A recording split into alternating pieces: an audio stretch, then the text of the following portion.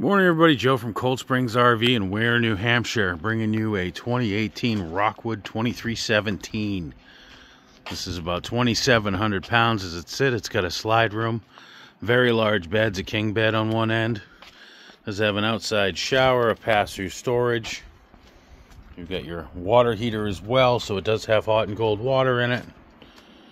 It's got the furnace, the fridge.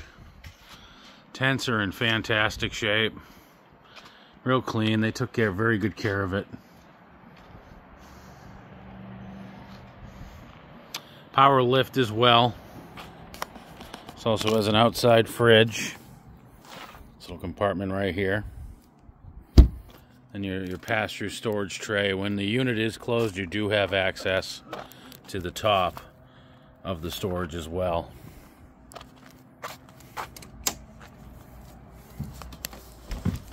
Beds are heated mattresses. You got plenty of seating in here. Little compartment. You got your dinette slide. Plenty of counter space here. Three burner range. You got your refrigerator below and your furnace. Little sink here. This thing's in great shape.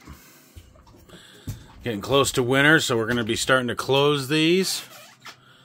To give you an option to look at it. Check it out at coldspringsrv.com.